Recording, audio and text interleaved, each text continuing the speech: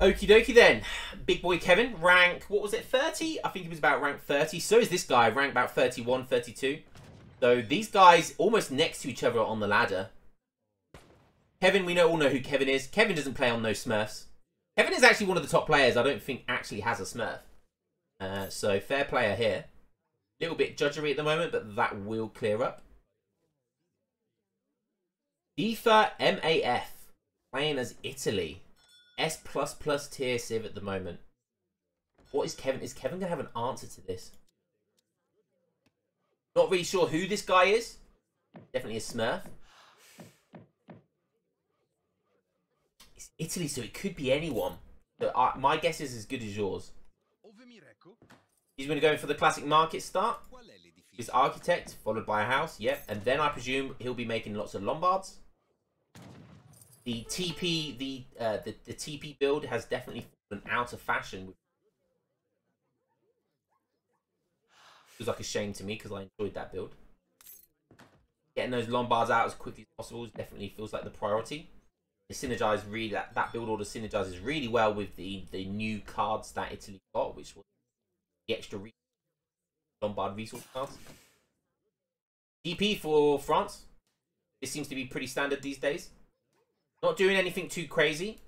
Doing a uh, a 12-10 build.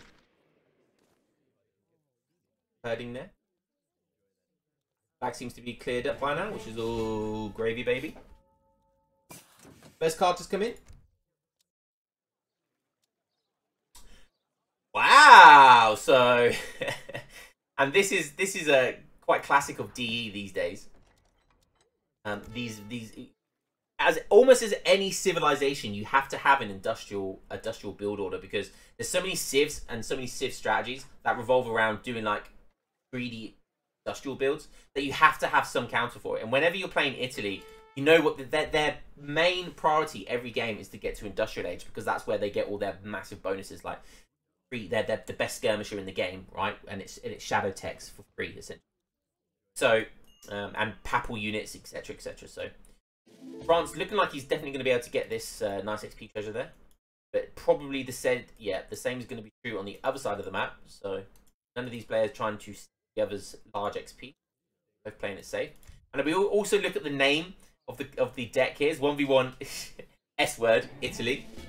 I don't know why I blanked out the uh, the swear word there. It's not like I uh, I swear enough on my YouTube videos as it is.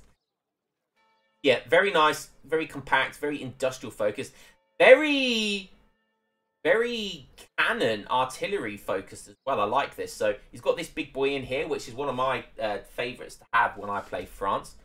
And if we look at this, it's kind of insane, right? It busts falconets heavy cannons by 20% and 25%, horse artillery by 25%, and culverin all actions damage by 25% as well. So no HP buff, but really insane damage buff. Really, really insane. And that's going to allow him to compete with Italy's culverins because anyone who doesn't know, for some reason, Italy just like they just get the best culverins in the game. They get the the their their upgrade culverins are better than everyone else's other than Maltas, but it takes a while for Maltas to increase the every 2% card. So Maltas do eventually have the best, but yeah, Italy off the bat have the best Culverins in the game. Very nice. I give this DLC skin from France, uh, the female, I'd give it a strong 8 out of 10, just because, um, as Kevin says rightly here, definitely very sexy. Who doesn't love a sexy French accent, eh? Certainly know I do. Oui, je m'appelle. Nice 40 coin pick up there. Backing two cards, and this is exactly why you know you go for the start. Gonna be stacking cards, a little bit of lag there. Nothing too detrimental. Now getting in for the market stuff, so he's going hunting dogs, placer mines. Wonder what he he's definitely going to be going into industrial, but it's going to be interesting to see how he goes to industrial. Like, what's his? What's his? Is he going to do a semi? Is he going to do semi cav? Is he going to do some semi musketeers? Is he going to do a naked fast fortress? See what his age up is. Keep it a surprise right to the end. Quartermaster. I think we might see a stable. Yeah, so I think we'll see a stable or a barracks. Uh, this four villagers into 700 coin is how I go to industrial, and I like to build musketeers as well. So we'll see if Kevin's going to do something very similar. Take a quick look at FIFA. Interesting. So, oh no, okay. So I thought that might have been one of the cards he'd sent already, but no, it's not. Yeah. So so the Efuzi card coming in first. Again, that's very standard, and then he'll ship. Likely, he'll ship the Lombard wagon plus resources. This is interesting though. So Kevin has definitely seen this. This isn't as focused heavily on industrial. So if I was Kevin and I saw this, I would definitely amend my strategy to probably stay in Fortress Age. But I mean, he could still go industrial anyway, because France don't have the fastest Fortress Age play, but they have a very strong Fortress Age play. So Kevin could definitely get away with going industrial still. But seeing this this deck definitely tells me that he's not going not going to industrial. He's not building a racks or anything like that. He's basically going naked here.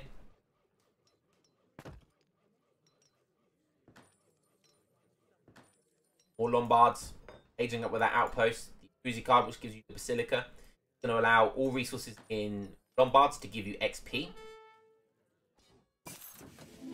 90 food, that's going to be a great card.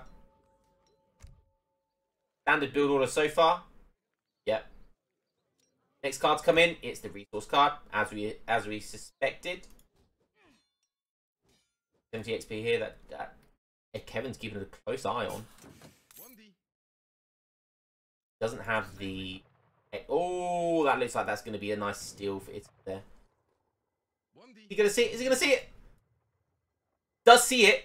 Does see it. Buddy, wake up. Beautiful morning. Oh no, he's just walked past it. That's a shame. It's, but when you're in age when you're in age two and you've got a lot going on, all your macro is focused on you know your your your town center and everything that's going on. So yeah, could have still stole 70 XP there, but gives it to Kevin very nicely. Kevin! Not doing what I thought he was going to do. Wow, so Kevin really going for basically a naked fortress. Wow, that's that's very risky. But against France, you, you can kind of get away with it because France don't have a very strong Age 2 rush. Now getting the market once he's up in the Fortress Age. Gone for Church as well. That would have been with the opening 400 wood. Very nice, very nice. So he went for 700 gold, 4 villagers, and then 700 wood. Two, Fal two Falconets is his first card. Wow. Looks like we're going to see some really aggressive fortress play here. Veteran Musk's coming in, so he's going to have five Musketeers that are all veteran. Wow, so interesting. So Somali play here for the Italy player. I wonder what he's going to get from the Somali. Maybe he's when you go for Somali, generally, it's a very good native. It's a very, very good native. You go for the Somali Darude, which are very good skirmishers versus artillery. They have bonuses versus artillery, and they've got insane range. They've got like 22 range.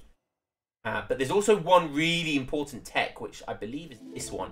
All infantry, for 500 resources, all infantry get additional armor against ranged attacks. That is an insane card, in uh, uh, insane tech. Especially when you've got lots of units, and especially late game. Okay, so five Musketeers are out in the field. Two Falconets now as well. I was going to say, I, I imagine the resources, we're going to see double racks at some point. Kevin playing this uh, very, very Musk Falk-esque, which you know me, I'm a big fanboy of.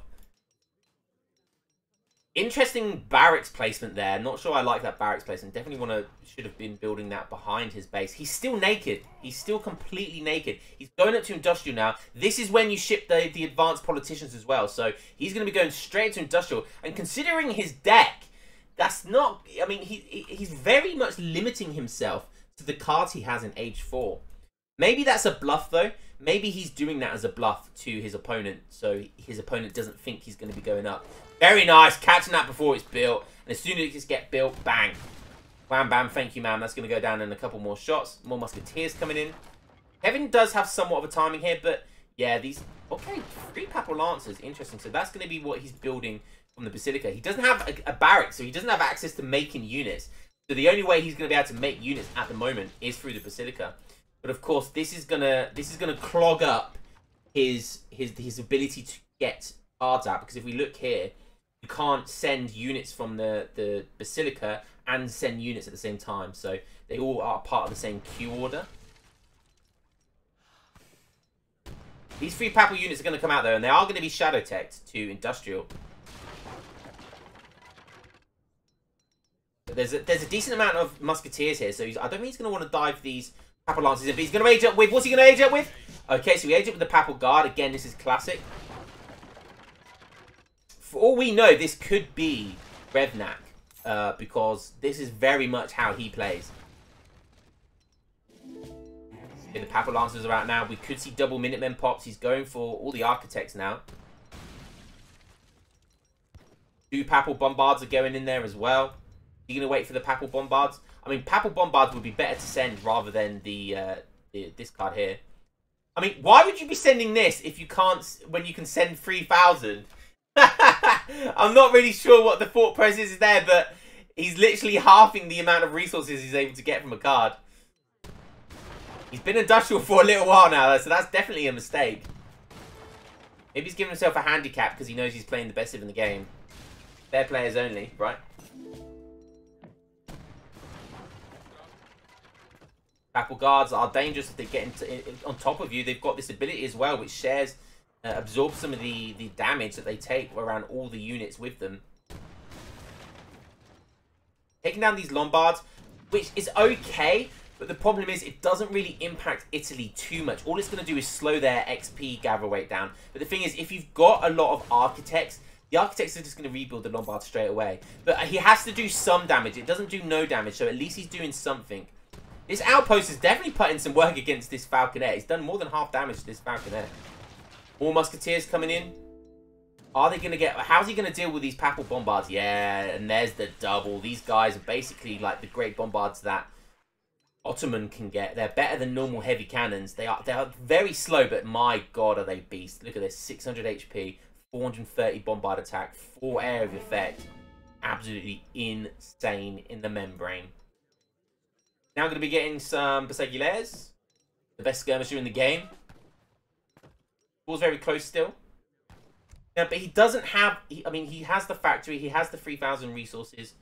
He does have this Bourbon Ally card, which I like. But uh, outside of the... Uh, if Kevin can survive this, then... I mean, he still has to compete with things like Black Company, Albania Company. But, you know, they're not H4. They're not H4 cards, so... Oh. Look at them big balls of steel. Metaphor in there somewhere. Just absolutely destroying. Sexy over here. Nice shot off. Good micro there by Kevin. Kevin's going to need to respond to this. I am. Oh, so Kevin's in Industrial Age as well. Very nice. Now, Kevin does have lots of industrial cards. So I think Kevin might be looking good here. If Kevin can get some Culverins out, Kevin's looking really, really hot here, I have to say. Nice micro here, just really, really frustrating these Musketeers. They're going to get a nice pop-off, though. And look, as I said, these Papal Bombers are so slow. So we can just yeah, keep unpacking, packing these Falconets all day. Oh, he's going to sit. Nice.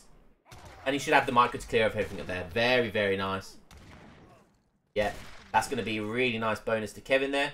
And like I said, I think Kevin is looking really favoured here. Not really favoured, but I, I would give him like a 6 four ratio for favor favorability here, purely because he's got some insane cards in Age 4. He's got access to two uh, factories. He has access to this full Culverin card, which is critical, absolutely critical in this matchup.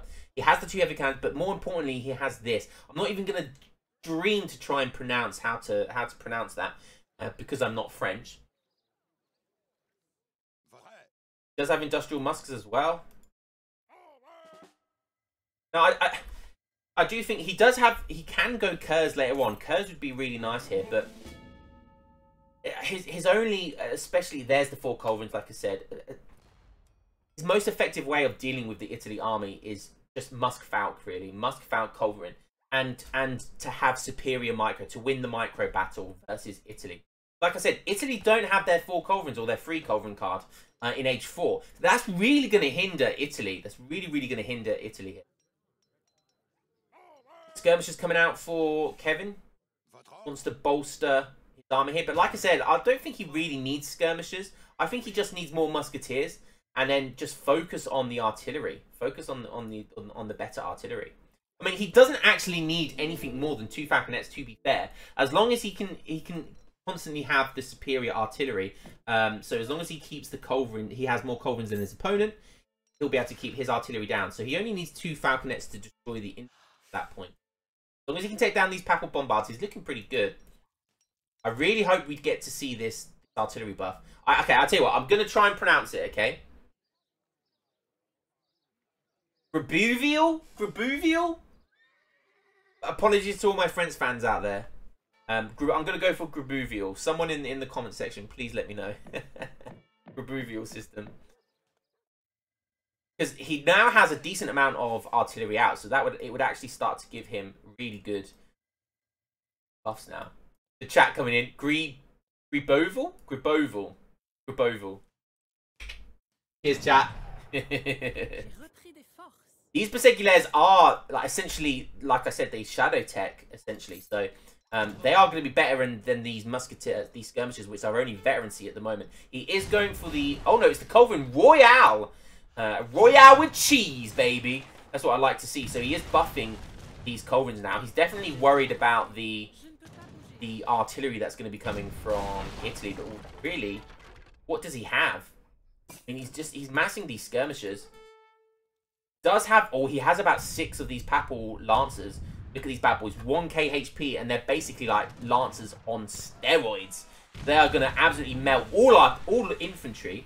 But that's 46 Guard Musketeers, which is going to be a problem. Looks like Italy's trying to maneuver himself in a position where he can either flank and he can flank any any kind of reinforcing units from France. If we look at where France is going to bring his his his reinforcements from. It's going to be a straight line down to here, and if you can block that off, it's always a, a something you see in high level play. You know, it's a really effective way of blocking off any reinforcements. But he's coming in for the flank now. The Lancers are going to be diving in. Are they going to commit to this? They are going to commit. Oh, the Musketeers though are just in a beautiful position. He only has one Falconet. That's going to be a problem. The Pikemen are going to get smashed in there as well. He does manage to take down one Bombard. He needs to take down the third one, the second one. He does.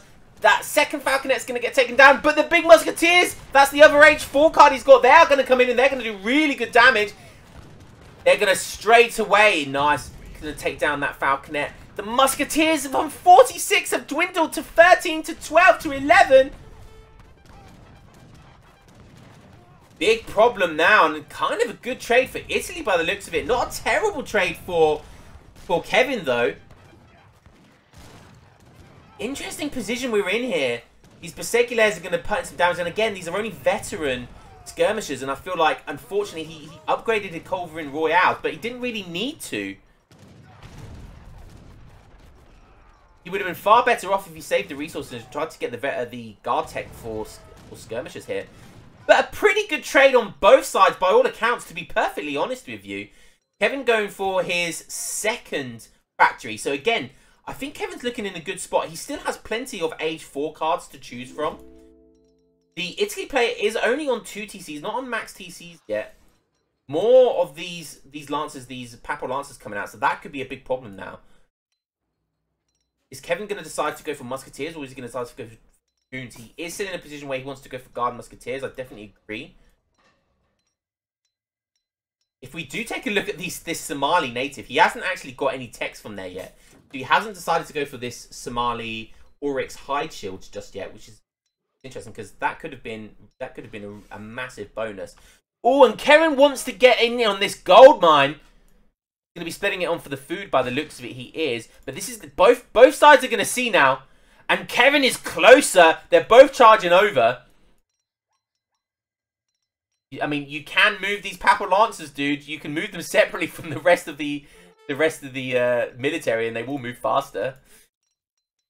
These skirmishers going to be coming in now. Very nice. Some Guard Persegulars coming in as well, but they're going to be backing up straight away.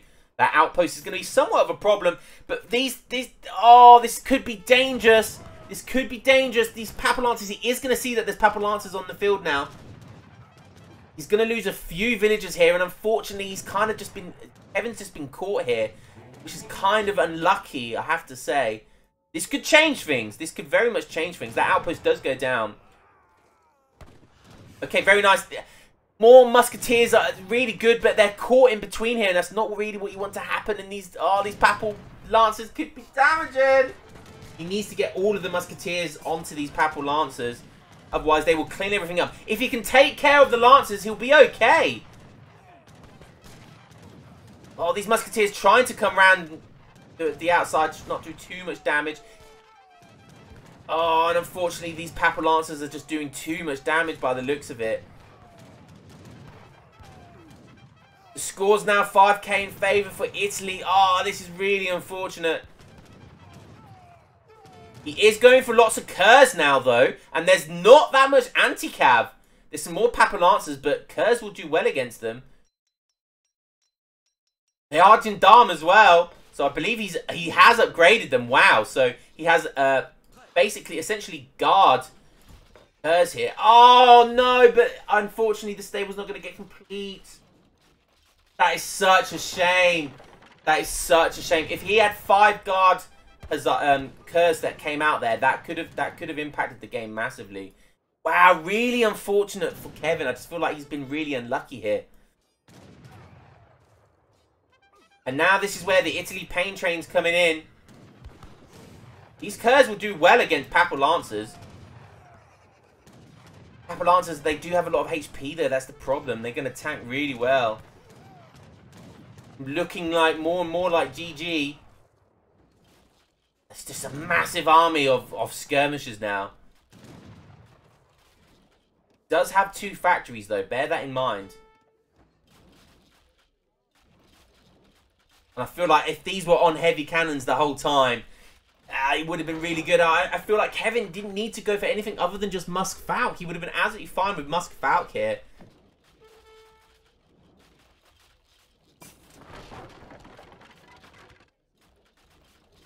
Did have the artillery advantage massively. I feel like if he just made musketeers instead of skirmishers, but he added in more artillery at the same time, he would have been absolutely cushy. Outpost going down, trying to take control of this gold mine. He has control of this one over here, which still has plenty on it. Yeah. Does FIFA see this and that he doesn't see this herd over here, so that's lucky for Kevin, but on 81 villagers, look at this macro! He can just be essentially spamming food into the Lombard and he'll be getting lots of all the other resources and lots of XP.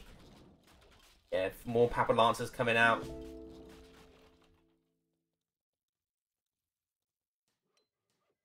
Not sure what Kevin can do here. Almost double the score at this point. And this is why Italy are just so good.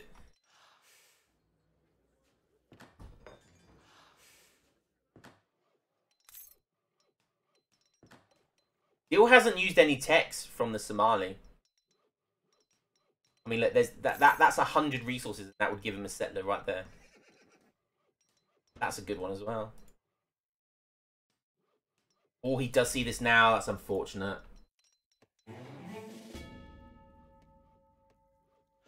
Evan doesn't want to give up just yet, though. Looks like he's... Is he going to be massing a load of gendarmes? Very nice. Is what I'd like see. Oh, imagine if we see a sexy cav come back here. Problem is, he's only on 42 vills. He does have the double factory production. Italy obviously only get one factory. Now imagine this is Italy. This is Italy on limited cards in Age Four. Imagine if he had all the Age Four cards. Papa Lancer's now having over 1200 HP. Going to be going over here to raid. But it looks like all the food's been gathered up. The perfect timing there.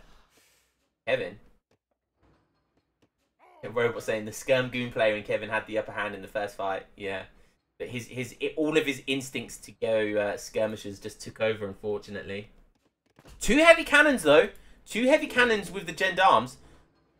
This this could be nice. A massive. Um, I was just about to say I saw I saw Italy's score go drop by about 10k, and that would have been in this card uh, going for the um, Inventor Age up here, which is the I believe is the cannon, is the Da Vinci cannon. He's uh, going up with the fort as well. But this is that if he's gonna push, now is the perfect time. He's wasted eight thousand resources into aging up. I, I wouldn't be surprised if he actually cancels this, just so he has access to resources. And these Dendar's going to absolutely destroy these skirmishes. Beautiful, beautiful. These heavy cannons. Oh, nice. They're going to go straight for the fort. That's very nice. The Papa Lancers are going to come in and clean up the heavy cannons, which is really unfortunate for Kevin. But these, these are probably going to do well. Trying to, trying to micro as best as he can here. These Dendar's doing a really good job. These Papa Lancers are going to go down. Like I said, he's going to keep one alive. He is going to keep a heavy cannon alive. That's very nice. Yeah, there's a decent amount of musketeers now. Does bring his explorer in. That's going to have access to this crack shot here. Eye of the Assassin, which could take out one of these Curs instantly. He's just about going to finish the musketeers, it looks like. But at what cost? It's basically cost him all of the Curs. But in come the reinforcing Curs. Let's go, baby.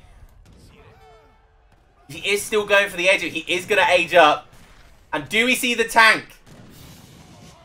Do we see the tank? We see it, baby! There's Leonardo's tank! In it comes, let's go.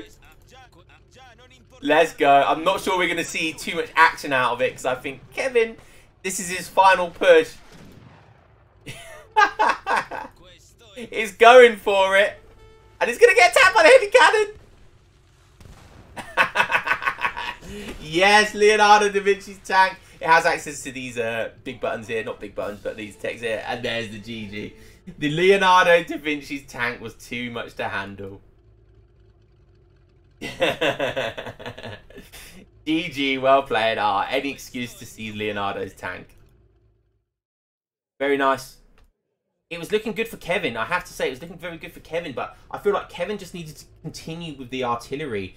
He, you know, his cards were suited to it as well, and I feel like he was on top especially when it got to age four. But he couldn't keep the pressure on. The skirmishers, I just he lost too many musketeers, and he didn't have the artillery to back up. The only thing he needed to worry about was the skirmishers, the guard Perseculaires, and yeah, best way to deal with them is more falconets. So unlucky, Kevin. Very nice. All resources. Looking, look how good that was for Kevin for the entire game. Um, it doesn't take into consideration the Lombard resources though that you get from the cards.